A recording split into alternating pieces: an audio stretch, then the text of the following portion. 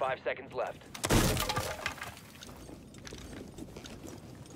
Attacker's objective is to defuse a bomb.